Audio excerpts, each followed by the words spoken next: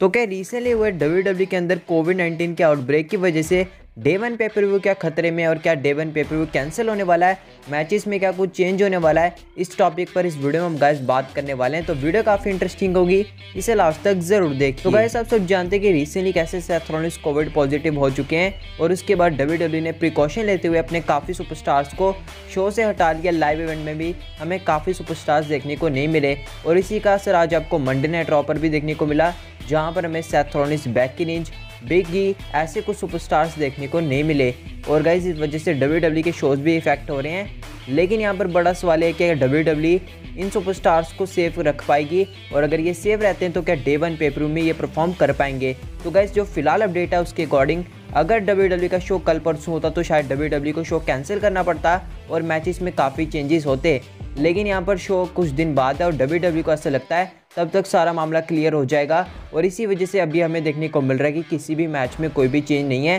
Specially W W championship match की बात करें, क्योंकि यहाँ पर हमें शॉपर पर सेथोनिस जो कि कोविड पॉजिटिव है, वो भी देखने को नहीं मिले और दूसरी तरफ़ बिगी भी देखने को नहीं मिले। तो उनका स्टेटस क्या है, वो तो अभी तक रिवील नहीं हुआ है। लेकिन फ़िलहाल डब्ल्यू डब्ल्यू यही मानकर चल रही है कि आगे चलकर कोई भी प्रॉब्लम नहीं आएगी। वही अगर हम रोमर रेस की बात करें तो बताया ये जा रहा है कि रोमर रेस को लाइव इवेंट से इसलिए डब्ल्यू डब्ल्यू हटा रही है, क्योंकि डब्ल्यू रोमर रेस के रिगार्डिंग कोई भी रिस्क नहीं लेना चाहती। आप सब जानते हैं कि रोमर रेस कैंसर के भी पेशेंट है तो एक तरीके से उनका इम्यून सिस्टम बाकी सबसे थोड़ा सा वीक है, ऐसा माना भी जाता है। और इसी वजह से हमें देखने को मिला था कि रेसल मीनिया थर्टी में उन्होंने पार्टिसिपेट करने से मना कर दिया था। और यही वजह बताई जा रही है कि रोमरेस अपनी हेल्थ को लेकर काफ़ी प्रिकॉशन लेते हैं और डब्ल्यू ने रिस्क में नहीं डालना चाहती, इसलिए डब्ल्यू ने प्रिकॉशन लेते हुए इन्हें सारे लाइव इवेंट से हटा दिया है ताकि रोमरेस को भी कोविड नाइन्टीन नहीं हो और वो डे वन में होने वाले बड़े मैच के लिए सेफ़ रहें। और आप सब ये भी जानते हैं कि करेंटली डब्ल्यू डब्ल्यू के सबसे बड़े सुपरस्टार रोमर रेस है तो डेफिनेटली डब्ल्यू डब्ल्यू नहीं चाहेगी कि वो अपने सबसे बड़े सुपरस्टार को खो दें और इस वजह से उनकी बड़ी स्टोरी लाइन पर इम्पैक्ट हो। इसलिए गाइज़ रोमर रेस को प्रिकॉशन लेते हुए डब्ल्यू डब्ल्यू के लाइव इवेंट से हटा दिया गया है। और गाइज़ जो फ़िलहाल अपडेट्स हैं, वो काफ़ी पॉजिटिव हैं। और यही माना जा रहा है कि अगर कोई बड़ी प्रॉब्लम नहीं होती तो फ़िलहाल के हिसाब से तो डे वन पेपर व्यू होगा और मैचेस में कोई भी चेंजेस नहीं होंगे।